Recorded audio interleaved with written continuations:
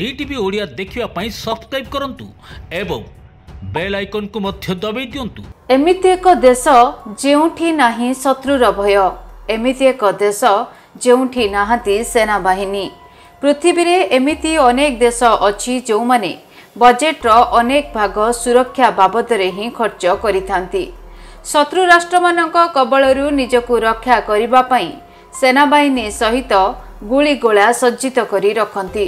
କାରଣ ପ୍ରତିପକ୍ଷକୁ ଯେଭଳି ସଫଳତାର ସହିତ ସେମାନେ ମୁକାବିଲା କରିପାରିବେ। ତେବେ ପୃଥିବୀରେ ଏମିତି କିଛି ଦେଶ ଅଛନ୍ତି ଯେଉଁମାନଙ୍କର ସେନାବାହିନୀ ନାହିଁ। ସେହିଭଳି କିଛି ଦେଶ ବିଷୟରେ ଆସନ୍ତୁ ଜାଣିବା। ଅଣ୍ଡୋରା ବାରଶହ ଅଠସ୍ତରୀ ମସିହାରେ ଏହି ୟୁରୋପୀୟ ଦେଶଟିର ସ୍ଥାପନା ହୋଇଥିଲା। ଅଣ୍ଡୋରା ନିକଟରେ ନିଜର କୌଣସି ସେନା ନାହିଁ। ଆବଶ୍ୟକ ସମୟରେ ଅଣ୍ଡୋରାକୁ ସ୍ପେନ୍ ଏବଂ ଫ୍ରାନ୍ସ ସେନା ସହାୟତା ଯୋଗାଇ ଦେବେ ବୋଲି କହିଛନ୍ତି। କୋଷ୍ଟାରିକା। କୋଷ୍ଟାରିକା ଏକ ଆମେରିକୀୟ ଦେଶ ଏହା ପାଖରେ ନାହିଁ ନିଜର ସେନା। ଉଣେଇଶହ ଅଡ଼ଚାଳିଶ ମସିହାରେ ଏଠାରେ ଏକ ରାଷ୍ଟ୍ରପତି ନିର୍ବାଚନରେ ଅନିୟମିତତା ଦେଖାଦେବାରୁ ସାଧାରଣ ଜନତା ଏହାର ତୀବ୍ର ବିରୋଧ କରିଥିଲେ। ନୂତନ ସମ୍ବିଧାନ ପ୍ରସ୍ତୁତ କରି କ୍ଷମତାକୁ ହାତକୁ ନେଇଥିଲେ। ଏହି ନୂତନ ସମ୍ବିଧାନ ଅନୁଯାୟୀ ସେନାର ଆବଶ୍ୟକତାକୁ ନାକଚ କରାଯାଇଥିଲା। ସେନାବାହିନୀ ନଥିବା ସତ୍ତ୍ୱେ ଏଠିକାର ପରିସ୍ଥିତି ଶାନ୍ତିପୂର୍ଣ୍ଣ ରହିଛି। ଉଣେଇଶହ ତେପନରୁ ଏପର୍ଯ୍ୟନ୍ତ କୋଷ୍ଟାରିକାରେ ଚଉଦଟି ରାଷ୍ଟ୍ରପତି ନିର୍ବାଚନ ହୋଇସାରିଛି। ପ୍ରତିଟି ନିର୍ବାଚନ ଶାନ୍ତିପୂର୍ଣ୍ଣ ଭାବରେ ସମ୍ପନ୍ନ ହୋଇଛି। ତୁଭାଲୁ ଦୁଇହଜାର ଚଉଦରେ ସମୋଆ ଏବଂ ତୁଭାଲୁକୁ ଭାରତ ପ୍ରଶାନ୍ତ ଦ୍ୱୀପ ସହଯୋଗ ସଂଗଠନରେ ସାମିଲ କରାଯାଇଛି। ତୁଭାଲୁ ଏକ ଛୋଟ ଦେଶ ଏହାର କ୍ଷେତ୍ରଫଳ ମାତ୍ର ଛବିଶ କିଲୋମିଟର ଅଟେ। ଏହି ଦେଶରେ ରହନ୍ତି ମାତ୍ର ଦଶ ହଜାର ଲୋକ। ଏହାର ସେନାବାହିନୀଟିଏ ମଧ୍ୟ ନାହିଁ। ତେବେ ସଂଯୁକ୍ତ ରାଷ୍ଟ୍ର ବିଶ୍ୱ ପର୍ଯ୍ୟଟନ ସଂଗଠନର ଏକ ବିବୃତ୍ତି ଅନୁଯାୟୀ ତୁବାଲୁ ଦ୍ୱୀପରେ ଦୁଇହଜାର ଷୋହଳ ମସିହାରେ ସବୁଠାରୁ କମ୍ ପର୍ଯ୍ୟଟକ ଯାତ୍ରା କରିଥିଲେ। ଏହି ଦେଶ ଚାରୋଟି ଦ୍ୱୀପ ମିଳିତ ସହାୟତାରେ ହୋଇଛି। ପୁନାପାତି ତୁବାଲୁର ରାଜଧାନୀ ଅଟେ। ତୁବାଲୁ ଦୁନିଆର କ୍ଷେତ୍ରଫଳ ଅନୁସାରେ ଚତୁର୍ଥ ଛୋଟ ଦେଶ ଅଟେ। ତୁବାଲୁ ସମୁଦ୍ର ପଥନଠାରୁ ଚାରି ମିଟର ଉପରେ ଅବସ୍ଥିତ ଏବଂ ଏହାର ଜନସଂଖ୍ୟା ଏଗାର ହଜାର ଅଟେ ତେବେ ବିଶ୍ୱ ପାଣିପାଗ ବିଜ୍ଞାନ କେନ୍ଦ୍ର ବା ଡବ୍ଲ୍ୟୁଏମ୍ଓର କହିବା ଅନୁସାରେ ସମୁଦ୍ର ଜଳସ୍ତର ବୃଦ୍ଧି ପାଇବାର ବଡ଼ କାରଣ ହେଉଛି ତାପମାତ୍ରାରେ ବୃଦ୍ଧି।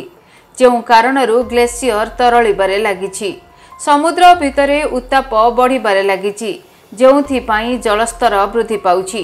ଦୁଇହଜାର ତେରରୁ ଦୁଇହଜାର ବାଇଶ ମଧ୍ୟରେ ସମୁଦ୍ର ଜଳସ୍ତର ପ୍ରତିବର୍ଷ ଚାରି ଦଶମିକ ବାଷଠି ମିଲିମିଟର ହିସାବରେ ବଢ଼ିଛି। ଏହା ଉଣେଇଶହ ତେୟାନବେରୁ ଦୁଇହଜାର ଦୁଇ ମଧ୍ୟରେ ବଢ଼ିଥିବା ଜଳସ୍ତରଠାରୁ ଦୁଇ ଗୁଣା ଅଟେ। ବିଶ୍ୱ ପାଣିପାଗ ବିଜ୍ଞାନ କେନ୍ଦ୍ରର ଜେନେରାଲ ସେକ୍ରେଟାରୀଙ୍କ କହିବା ଅନୁଯାୟୀ ଗ୍ଲେସିୟର ତରଳିବା ଏବଂ ସମୁଦ୍ରର ଜଳସ୍ତର ତୀବ୍ର ଗତିରେ ବଢ଼ିବା ଏକ ସଙ୍କଟଜନକ ପ୍ରକ୍ରିୟା ଅଟେ। ତୁବାଲୁ ଭଳି ଦ୍ୱୀପ ଅଧିକ ସଙ୍କଟରେ ପଡ଼ିପାରନ୍ତି। ସମୁଦ୍ର ଜଳସ୍ତର ବୃଦ୍ଧି କାରଣରୁ ତୁବାଲୁ ଭଳି ଦ୍ୱୀପ ନକ୍ସାରୁ ହଟିଯାଇପାରେ ବୋଲି କୁହାଯାଉଛି। ନମ୍ବର ଚାରିରେ ଆସୁଛି ଭାଟିକାନ ଦେଶ। ଭାଟିକାନ ପୃଥିବୀର ସବୁଠାରୁ ଛୋଟ ତଥା କମ୍ ଲୋକ ବସବାସ କରୁଥିବା ଦେଶ ଅଟେ। ଏହାର କ୍ଷେତ୍ରଫଳ ମାତ୍ର ଜିରୋ ଦଶମିକ ଚାରି ଚାରି ବର୍ଗ କିଲୋମିଟର ଏବଂ ଏବେ ଏହାର ଜନସଂଖ୍ୟା ନଅଶହରୁ ବି କମ୍ ରହିଛି। ଭାଟିକାନ ହେଉଛି କ୍ୟାଥଲିକ ଗିର୍ଜାର ମୁଖ୍ୟାଳୟ। ଏଠାରେ ଗିର୍ଜାର ପ୍ରମୁଖ ପୋପ୍ ଏବଂ ଚର୍ଚ୍ଚର ଅନ୍ୟ ଅଧିକାରୀମାନେ ରହନ୍ତି। ପଞ୍ଚମରେ ଲିଷ୍ଟେନଷ୍ଟାଇନ୍। ଲିଷ୍ଟେନଷ୍ଟାଇନ୍ କେନ୍ଦ୍ରୀୟ ୟୁରୋପର ଏକ ଛୋଟ ଦେଶ।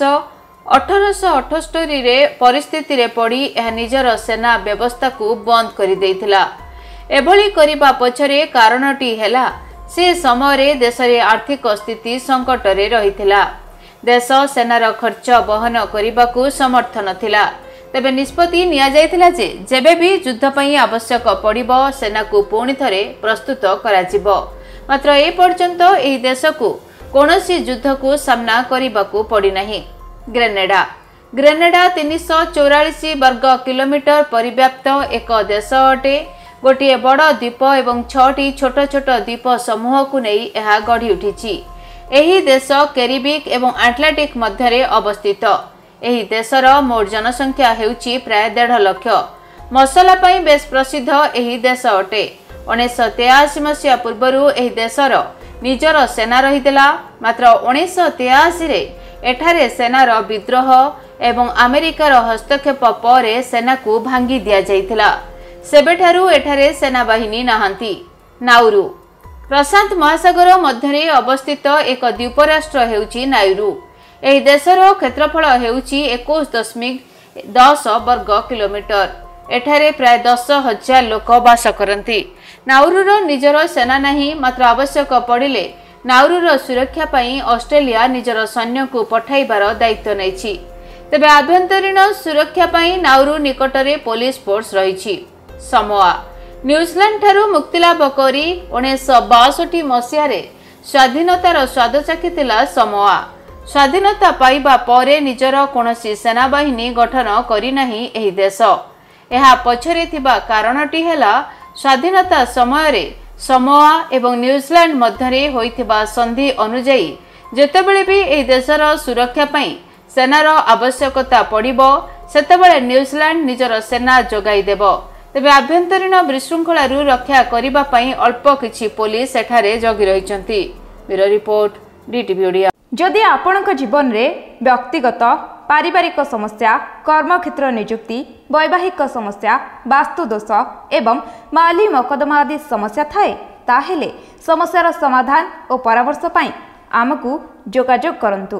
ଜ୍ୟୋତିର୍ବିଦ doctor Bhabani Shankar Mohapatra Budheswari colony plot number twenty six Bhubaneswar phone number nine seven seven six eight three three three zero two nine four three nine four four four nine two four ଆମର website W W W dot Shri Jagannath astro dot com DTV Odia ଦେଖିବା ପାଇଁ subscribe କରନ୍ତୁ ଏବଂ bail ଆଇକନ୍କୁ ମଧ୍ୟ ଦବାଇ ଦିଅନ୍ତୁ